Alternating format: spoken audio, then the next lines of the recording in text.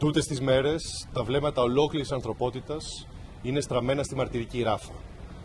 Εκεί όπου 1,5 εκατομμύριο άμαχοι, κυρίως γυναίκες και παιδιά, είναι στιβαγμένοι, χωρίς τρόφιμα, χωρίς φάρμακα, χωρίς πρόσβαση σε στοιχειώδη ανθρωπιστική βοήθεια.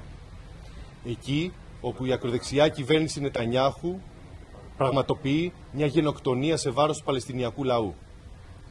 Την ίδια στιγμή η ελληνική κυβέρνηση με τη σιωπηρή υποστήριξή της πολεμικές επιχειρήσεις είναι συνένοχη στο έγκλημα, ενώ και η Ευρωπαϊκή Ένωση συνεχίζει να παίζει το ρόλο του πόντιου πιλάτου.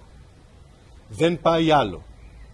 Σήμερα το πρωί απέστειλα επιστολή στους προέδρους των κοινοβουλευτικών ομάδων των κομμάτων της Δημοκρατικής Αντιπολίτευσης και τους ζητώ να αναλάβουμε κοινή δράση για να γίνει στη Βουλή συζήτηση προημερησίας για τη γενοκτονία των Παλαιστινίων, να συγκληθεί το Συμβούλιο των Πολιτικών Αρχηγών υπό την Πρόεδρο της Δημοκρατίας, να συντονίσει η κυβέρνηση τις ενέργειές της με τις κυβερνήσεις της Ισπανίας, της Μάλτας, της Ιρλανδίας, της Σλοβακίας που ζητούν αναγνώριση του Παλαιστινιακού κράτους σύμφωνα και με την ομόφωνη απόφαση του Ελληνικού Κοινοβουλίου το Δεκέμβριο του 2015 και να υπάρξει απεμπλοκή της χώρας από τις πολεμικές επιχειρήσεις και επιστροφή της φρεγάτας Ήδρα από την Ερυθρά θάλασσα.